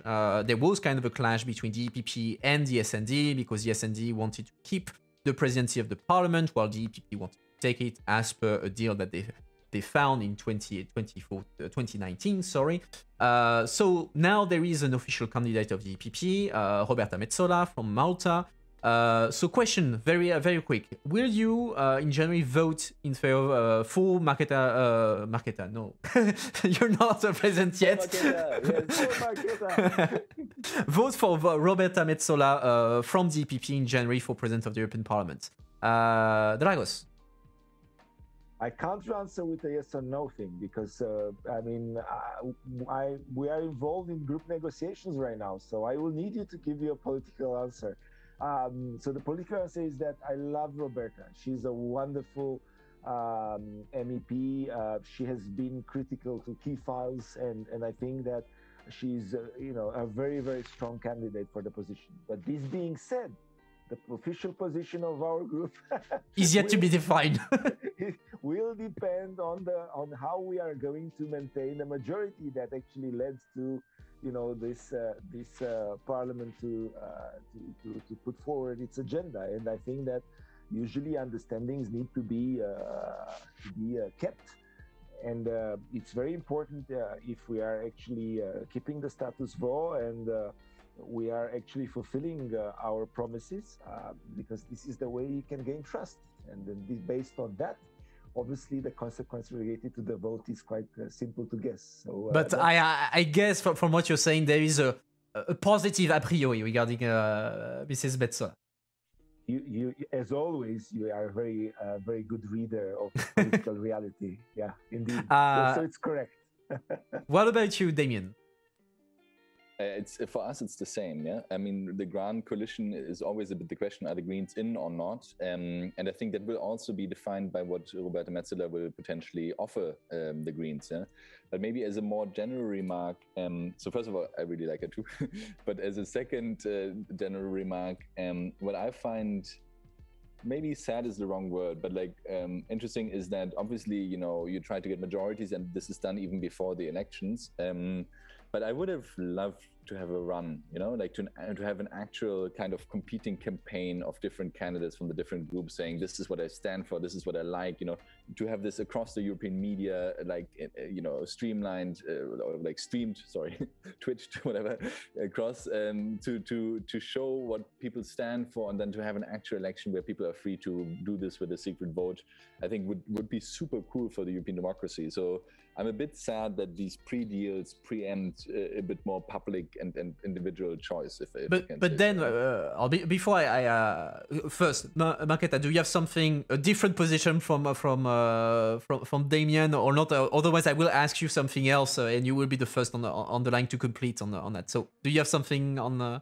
Uh, feel free to continue. I know we don't have that much time. Okay, so uh, then still uh, uh, to, to follow up on what uh, what you, you just said, Damian. Like, as a question, what is the role of the president of the European Parliament? Is it a political role in the sense that uh, he's just here to to to head the administration and act as a, a facilitator between the between the political groups, and then that's why you have a negotiation. The, the designation of the the president of the parliament is a deal between political groups, or is it uh, is it more than that? Does the president of the parliament has a public role and is more than the representative role in as in a way an initiative, uh, a right of initi- uh, initiative in the parliament and to to to, to weigh on the way the, the parliament works. So where would you where would you see the role of the president of the parliament? I mean, if uh, wants to go first, uh, I mean, for me, Marketa, yeah, yeah, Marketa, go ahead. Ah, sorry, I thought you were asking Damian because No, no, I was, uh, I was, uh, I was following up to his remark, but uh, yeah, yeah, you uh, were following after him, so that's why I thought you want to ask him. Um, be- be- because uh, yeah, okay, I, I will try to answer because I am I've never really uh, focused on the board of the European Parliament uh, as something that uh, is of high interest to me. Sorry, I just uh, you know have a lot of work uh, being uh, the first term MEP with my work, not yet alone with the work of of the, the the chairmanship, but. In general, I would say that uh, it's still a democratic board. Therefore, even if you are a president, you still have your co-presidents, you know, vice chairs, and you have to agree with them. And there is still the D'Hondt system, so you have to agree with various groups. So I think it's more of a um, prestigious position for the group also and to some extent of course good position for the for the person itself uh, herself or himself uh, to to step in a little bit. However i've never uh, honestly seen sassoli to do something uh, you know something more. Maybe it's just because of sassoli uh, and maybe Metsola will prove us wrong but uh, you know it was always a decision of the the whole port uh, and i have my colleague marcel Kolaja working there so i know that what they agreed on that was presented. It was never like a solo action of one, one person. So yeah it's more yeah. Yeah i don't know. Yeah uh, can i throw my yeah yeah go ahead go ahead. so so basically um, the the european parliament goes on these two layers administrative layer and political layer. And you have you know, presidency administrative level, CCC administrative level, and then committees, um, uh, boards also administrative level, and then you have coordinators and the COP that are the political layers. So I would I would actually see that the, the president as playing a representation role rather than a political role, but at the same time, with some probably with more with someone like Roberta than you know other people uh, we might see, you know, uh, bits and pieces of initiatives and of, you know, transparency, uh, you know, getting closer to some of the segments of the population that are so important. For instance, what I share with Roberta is uh, our openness to involve youth in, in decision making at European level. And, and as a general, you know, principle to allow youth to be present, uh, you know, in, in the European reality rather than uh, you know just being told that they are the future you know mm. they, you you'll be in the future sometime. So so i think that um, if you get a president that that is actually more or less uh, uh, getting people in love with europe uh, that's something that uh, you don't need to have a politically charged mandate for that. You are doing it because you care about europe. So I, I, would really love to see indeed a president that cares about Europe, uh, you know, deeply shares his values, and would be a, a, a very good embodiment of, of, of, you know how we would like uh, you know the future of Europe to, to, to be like. But otherwise, indeed, it shouldn't be uh, more or less a politically charged uh, um, function. So I expect from the presidency the neutrality and representation that uh, that is actually given by the mandate that is discussing the COP. So that's how I see. I um, disagree slightly, um, and that is because I mean, for, for me, uh, I'm a parliamentarian in the sense that um, I think parliament uh, should be a strong body. Yeah? So if I think about the future European democracy, it's a parliamentary democracy, not a presidential democracy where you directly elect the president. And for that to happen, I think we need to get parliament ready uh, as soon as possible to be the best it can be. Um, and it, it is not. Yeah, I mean the debating culture still sucks. I'm sorry to be. yeah, no, go ahead, go ahead. Uh, be, be blunt. Uh, it's uh, we're on Twitch. Oh, you can be blunt it's it's uh, it's a it's very bad debating culture um, because everybody just gives their one minute about their own stuff, um, and that's true actually for committee almost as well, but especially obviously in the plenary. Um, there's you know our hearings are boring. There should be much more like a U.S. Senate hearing, and there's a lot of other stuff where I think uh, we can do improvements. And also I think if you compare Schulz, uh, S&D, a social, social democrat, um, president versus Sassoli, and I can say that because they're both sort of Democrats. And you can see that Schulz uh, played much more of a power game also within the three institutions. And I do want a strong representation of Parliament when it comes to these three institutions, you know, meeting each other and having deals made, be they institutional agreements or on budget or whatever. And so I would really like to have an extremely strong and active and visible um, person at the top of the parliament. That doesn't mean that they say, you know, I want nuclear in or out the taxonomy. I don't think that's their role. Uh, but I, I, do think they have a political, strategic, representative role um, where we need a really strong candidate uh, to do that. Okay, well, what I will thank you for the, the, very actually interesting answers on the, on the perspective of uh, what is the role of the parliament in the in the end. So uh, I'm looking at time. I will suggest that we do a very final game, and then we conclude. Uh, we, we conclude the, uh, the, the the stream tonight. Is that if that's fine for everyone? So. I think I have to run because I'm uh, oh, very for uh, for uh, like a birthday dinner. So I'm. Oh, okay. Well, if, if that's if that's to, to, the party, so I think I'd be a bit impolite if I if I. no, no, no problem. Well, in that in that case, I will give you my my thanks, Mr. Mr. Boeselager, for for taking uh, taking the time to answer uh, us tonight. Uh, chat, make sure to, to, to thank Damian for, for, for his time. Uh, Marketa, Da- Dragos, do you have time to for one last game? Yes, yes. All right. Uh, let me. Thanks a lot for all the questions. Thank you. Damian. Bye-bye. Bye-bye. Bye-bye. Uh, Mikhail, I didn't ask you, but uh, you're you're down for one final game. All right, let's cool I, up I my. uh, am I am just a pro gamer as ever. Yeah. your program as ever. Oh, it's cool up my my camera setting. The fact that Damian left. Uh, give me a second. Uh, I'm gonna fix that. Everything is fine. Everything fine. Improvisation on stream, as always. Uh, up and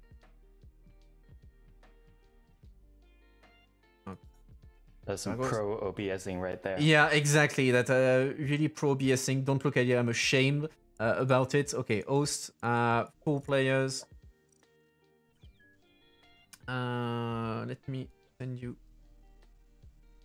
chat.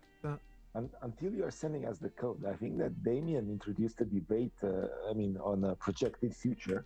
That was quite uh, quite nice, and I enjoyed. Yeah, yeah. He, he- he does make a, a very good. I mean, the, the, the, debating culture in the parliament is is not a debate, debating culture, No. whether in plenary It's- it's or in a or in Yeah. uh, in uh, in committee. Is just a, a succession of statements. They, they, uh, that, that's that's a bit sad. I mean, personally, I uh, even when I was an assistant and even now in my professional life, uh, I don't watch the plenary debates unless I'm, I really, really have to. And I will watch like the, the very beginning and the very end because that's where the commission, the council, and the rapporteurs are speaking, which is where you will have the, the, the thing that matter.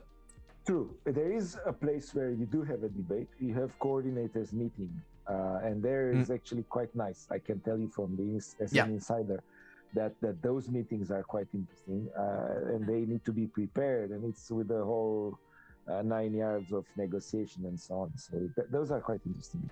Yeah.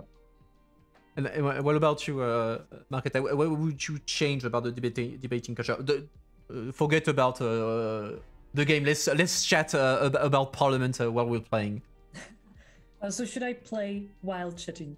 Yeah, yeah. Well, play play uh, as best as you can while while chatting. Uh, Yeah, yeah. Well, uh, I would probably change in the debating culture.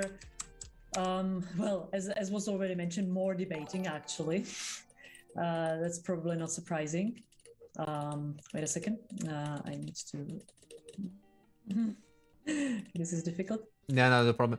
And I mean, be, be, be, beyond changing the, the the debating culture. I mean, we have like right now the the the, the, the conference on the future of Europe, which is supposed to uh, gather what uh, what Europeans are thinking about Europe, about its potential future, uh, and there is a debate about what should be the the the, uh, the role of uh, these the recommendation of of citizens.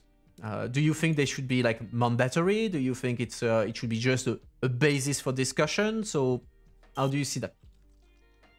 Um, yeah, well, I'm quite disappointed in how the conference for the future of Europe is going now, um, because uh, it was all, you know, mm, big hype of how all the all the institutions will talk to each other, how all the institutions will uh, will cooperate and really listen to people, and now it's more like European Parliament is hyping people to join. People don't know that it is happening because nobody is really talking about it in their home countries.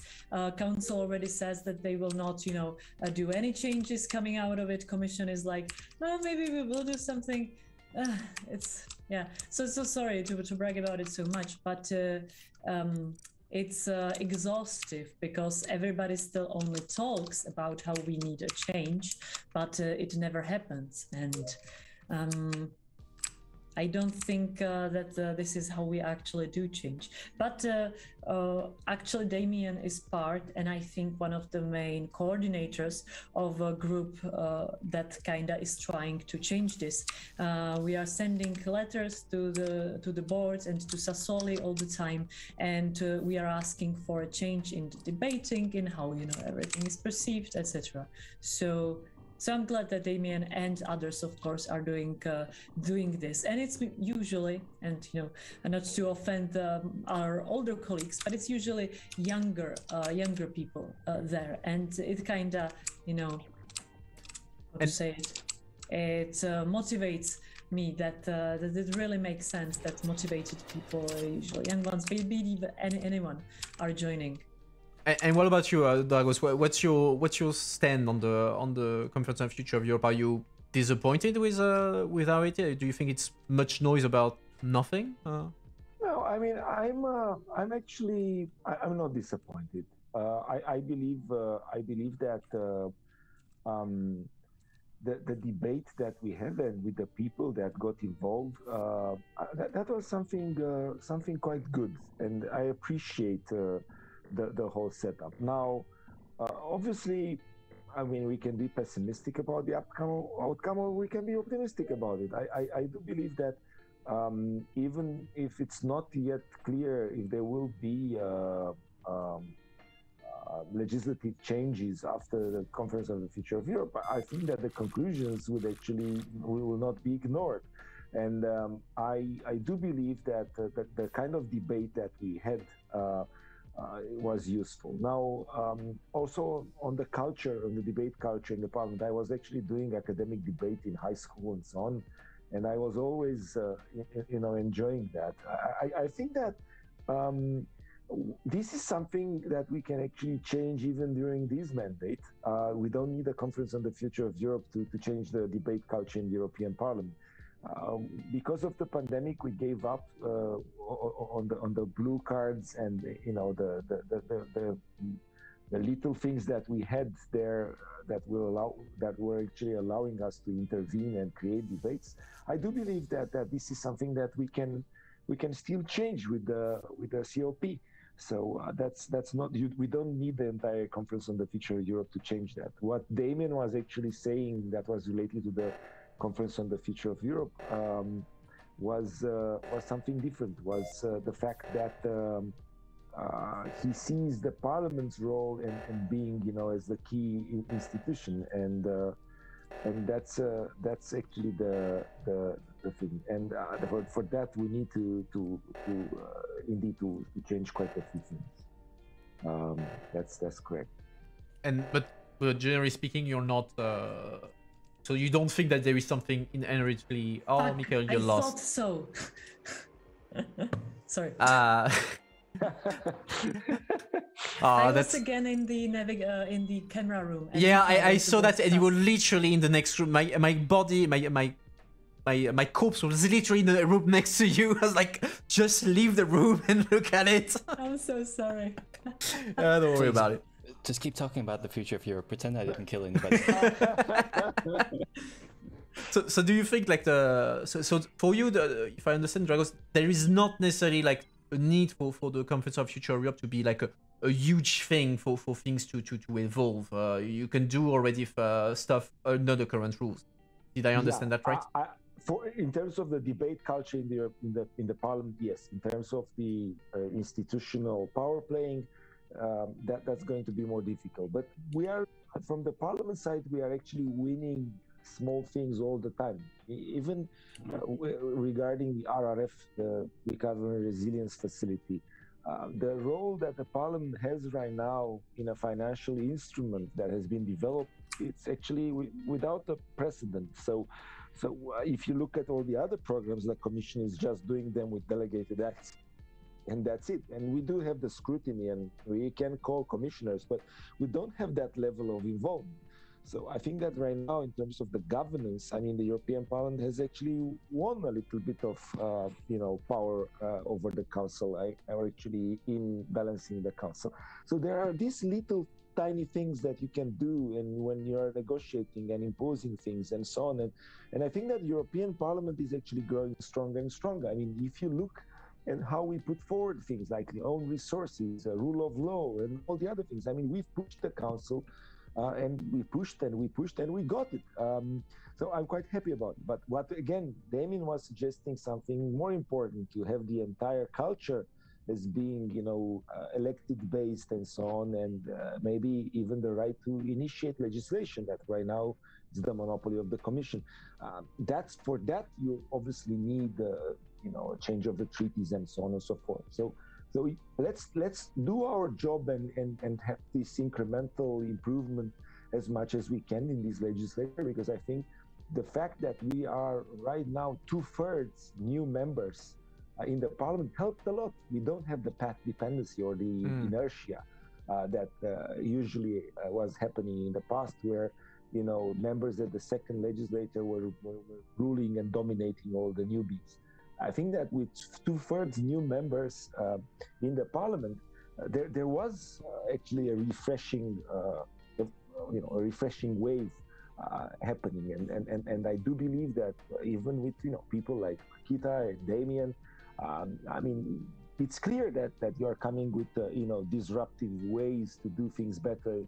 Um, and, closer to the citizens, and, and, and again, I think that this should be visible. I, I hope that it's visible, but I, I, I mean, uh, what I've actually read, I was uh, reading a report about the trust in the European Parliament. I think that Marketa, you received that as well. We, we all MEPs, and we are at the highest trust of the citizens since 2007, if I'm not mistaken. The, Yes, report indeed. yeah.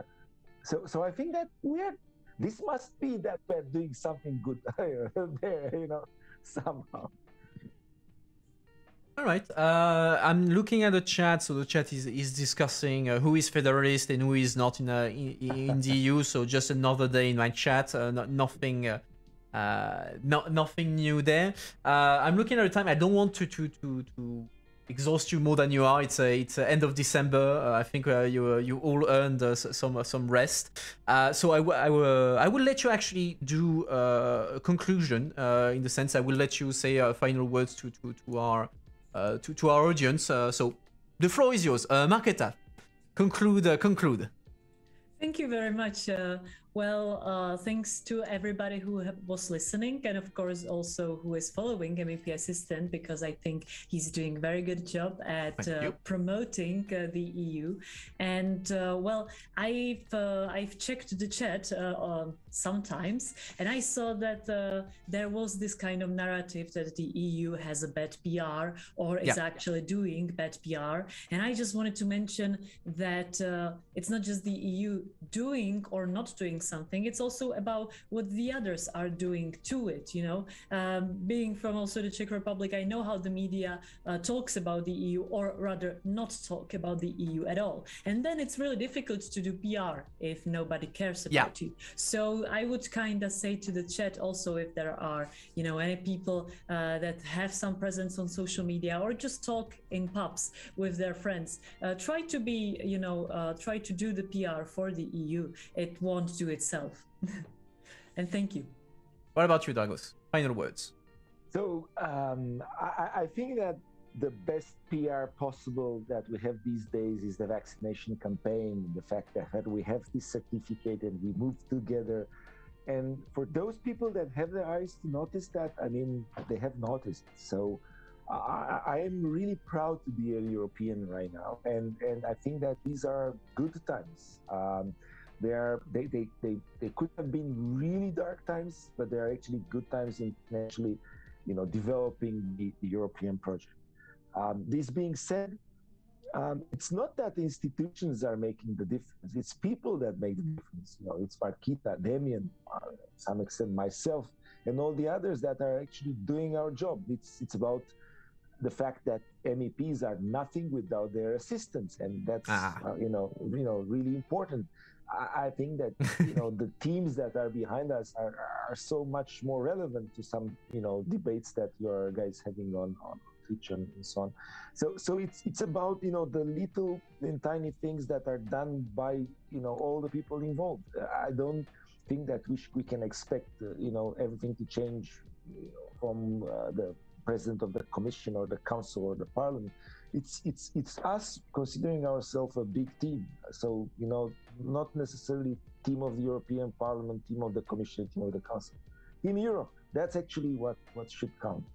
And and for that i mean i think it's worth fighting for uh, because uh, again what has been accomplished in the eu it's it's it's really amazing. And i'm not talking about the you know the textbook stuff with peace and avoiding conflict. It's Mhm. it's about the kind of prosperity that we are enjoying today. Uh, and and and for for Marketa and for myself coming you know uh, from really difficult period during a communist time the kind of achievements that our countries have actually uh, put forward as, as members uh, states of the union. It's really, really amazing.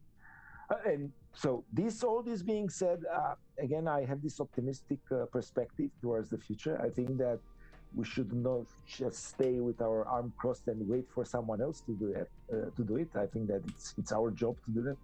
And for all of you watching and listening and really enjoying, hopefully this this evening, uh, again, uh, my hope is with you as well, uh, putting a little bit of effort to, to make Europe a, a, better place. Actually, the Conference of the Future of Europe is not about someone giving us the ideas how to, to, to make Europe better. It's about all of us realizing how important it is to get involved. And again, this being said, uh, a big thanks, my assistant, Mikel. It was really a pleasure to, to, to share this evening. Uh, Marketa, Damian is not here anymore, but Marketa, coffee in January, as we agreed we had a, you know, made a good team. Um, and um, you know, happy New Year and Merry Christmas. Uh, that's that's uh, what uh, we all deserve, and uh, we need a little bit of, tranquility of uh, the dear ones. So thank you again from my side. Well, th- thank you both of you, and thanks to Damian who already left, but uh, I will send him an email after- afterwards. F- thank you, Mik- Michael, as well for for, for taking for, for helping me out. so I wish you all a chat, of course, make sure to, to, to thank our guest, our good guest uh, tonight. Uh, stay with me, I will do a quick conclusion uh, afterwards about season 3. Uh, I will not uh, keep you any longer, uh, Marta Dragos. Uh, thanks again for, for your time. I wish you a lot of rest, good holidays, Merry Christmas, and I hope to see you sometime on the on the channel in the future. So have a, have a good evening and see you soon. Look Thank forward. you. Bye. Thank you, everyone. Merry Christmas. Bye, Chet. Bye, Chet. All right. Uh, so now I switch to the discussion panel. Let me up switch off Zoom. All right. So uh, a bit of a uh, I don't want to say messy. I, never do anything messy on this on the on the channel, but uh, uh, it, it, it was touch and go from uh, from uh, from from time to from time to time. Uh, Oh, Ikaros, long time no see. I haven't seen you in a while. Uh, you, you, we missed you on the on the chat. Uh, anyway, so I hope that you enjoy uh, the, uh, the the event uh, and the discussions. Uh, do let me know the feedback if, if you if you if you liked it. do do let me know, and I will try to organize uh, more of that in the future. I saw some people wanted the MEPs playing uh, Age of Empire.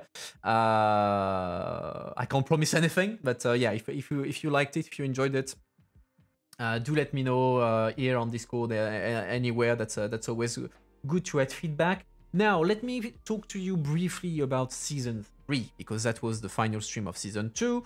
I will be back in January uh, probably mid-January with uh, season 3, which will last from January until uh, mid-July, probably. I, need to, to, work out the the, uh, the, the schedule. I need to organize the schedule. Actually, I, am sending emails uh, left and right and center to to everyone to try to get uh, get people to do interviews.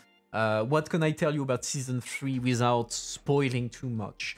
Uh, if you, for those of you who have been with me at the very at the beginning of season two, so it's September. You remember that I have said back then that I was going to stream a lot, uh, so four days a week, uh, up to four days a week, and as an experiment, and to see if I could uh, if I could hold it or not. Uh, for season three, I will uh, have to reduce a little bit the amount of streaming because I have to say uh, it, it, became very hard to maintain balance between stream work and, uh, and free time uh, especially when i, I was uh, going through uh, a lot of uh, four, four days of stream etc would have like more interaction with the chat oh, i'm sorry about i'm sorry about that i try to to keep an eye on on, on the questions but okay I, will apologies for for, for not interacting in with you guys more. Uh, I'll try to do better uh, uh, in the future. So I will reduce a little bit the, the amount of streaming. I'll still be streaming probably three times a week if possible. Uh, no, wait. Did not come across the rhythm zone. Okay. Uh, the news review will stay. So the news review uh, will, will stay. What will likely go is the set uh, gaming uh, stream, which was until now on on Monday evening. So that will probably leave the uh, the, the, the the regular schedule. I'll still do some gaming every once in a while, but it's not gonna be like every week one uh, one gaming evening. It will be more like a uh, an, an improvised kind of thing. Uh, so that's that's gonna be that, and I'm gonna use the, the the extra slot to try to do uh, to do more uh, interview. Uh, low intensity chill review. Nice to game the review playing at the same time. Yeah, I, I I'll try to. I still gonna do some gaming, but it's not gonna be every week some some gaming. I I have to try to find the balance, but uh, yeah, that's that's gonna be it. I'm trying also to diversify the kind of people I will have on the channel. Uh, what about gaming with MEPs? Uh, well, let me tell you, it's not easy. I uh, organizing this event tonight took me a month to find MEPs. Uh, I didn't find. I mean, I had more MEPs who had to cancel. Uh, I mean, uh, Mr. De Blanco, uh, Gasa De Blanco was supposed to, to to attend tonight. He had to cancel at the last minute. So, gaming with MEPs, and also we had tried that actually with the interview with Marketa. When during our interview, we we were playing some uh, some portal, and it was it was very distracting to play while having an actual interview. So uh, from there, where I, I think it's not necessarily a good idea to to do interviews while gaming with MEPs. Uh, but yeah, diversifying the people, as Nobrains is saying, uh, seeing influencer and lobbyists. Yes, I will try to get some lobbyists if I can to not necessarily talk about what they are lobbying on, but talk about the job of lobbyists in general. So, so that's something I have on my list. I'll try to have some journalists as well to, to come on the channel. Uh, definitely more chat involvement. Yeah, yeah. But I mean, I, usually I try to inter interact more with you guys in the in the in the channel. Uh, uh, in, in the chat, just like here I had three guests, three uh, three guests to deal with. So you know you have a. I had to give attention to the to the to the to, the guests, but again, apologies for that. Uh, how about commissioners? I did send invitation to com- uh, to commissioners. Now I'm waiting for feedback, so that's uh, not uh, up to me there. I love to see some content uh, content dedicated to parliamentary committees. Content I see nowhere here. The problem is uh, that since I can only stream in the evening because I have a I have a job during the day, I can't do that. I can't exactly live comment parliamentary committees or plenaries, that sort of thing. That unfortunately I can't. Uh, that's outside the thing I can do uh, because I have a, I have a day job. I know it. That's sad, but uh, that that's how it is. I'd love to get Verhofstadt. He did get uh, he did get uh, an invitation, not live, but it's okay as a summary at the end of the week. We'll have to see because usually when there is some big things like the uh, the State of the Union, that sort of thing, I commented on the news review. Like if in September, I did a review of the of the disc of the of the the the, the damn it, the state on the uh, the speech on the State of the Union, uh, etc. etc. Uh, what's my day job? Uh, well, until now I was saying silent to it, but since my identity has since then has been public, uh, I think pretty much. Uh, uh,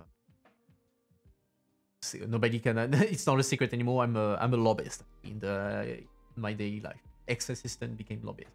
Uh, but I'm not going to tell you what I lobby for because that's outside the uh, uh, the purview of the of the of the of the channel. Uh, and I, I, try to keep uh, my day job and uh, this activity as separated as I can for obvious reasons. Illuminati assistant, exactly. Uh, but yeah, uh, season three. That's gonna be uh, that's gonna be it. Uh, mid from mid January, I'll try to to to have more uh, more people, more varied profiles. Uh, flashback when you uh, spat anti-lobbyist propaganda. Oh, yeah. Uh, we don't mind being an MEP assistant if you manage to finish your political studies. That's definitely an option. Uh, that's definitely an option to to, to become uh, an MP assistant. I mean, my I think we we had a stream where I discussed a bit my uh, my story about an MEP assistant. I became an MEP assistant a bit by uh, uh, not by accident, but uh, uh, it was uh, being at the right place at the right moment, kind of a kind of story, like for, for many people in the in the in the parliament. So yeah, uh, don't everything is possible. You don't even have to do political studies and to to to do uh, to become an MEP, MEP assistant. I didn't do any political studies. I had uh, colleagues who had all kinds of different uh, uh, background. I had someone who actually even had a colleague uh, who was uh, trained as a baker. So you know everything. Everything is possible. Uh, MEP assistant have more administrative work than political? No. I mean, it depends of the MEP, but uh, you do a lot of political work, a lot of uh, policy work as an assistant. Uh, uh, but it depends again on the on what the MEP needs you for. Uh, some some MEP assistant are just doing are just doing administrative stuff. Some are doing politi- politi- politics, others are doing communication, others are doing policy work. So it can be pretty much everything. Baker worked for the EU. A baker became, I mean, someone who was trained as a baker became an MEP assistant. An MEP assistant. Uh, but yeah. Uh, okay, guys, I see uh, the time, so I hope that you again that you you enjoyed it. Uh, if you like what you saw, well, don't hesitate to drop a follow. Uh, if you're feeling mighty generous, even uh, even a sub. Don't forget to follow me on my other social media, uh, primarily Twitter and Discord. That's where the uh, fun stuff is happening. Uh, and yeah, on this note, I wish you all a good evening, uh, a good night, and happy holidays. Uh, and I will see you back in uh, in January.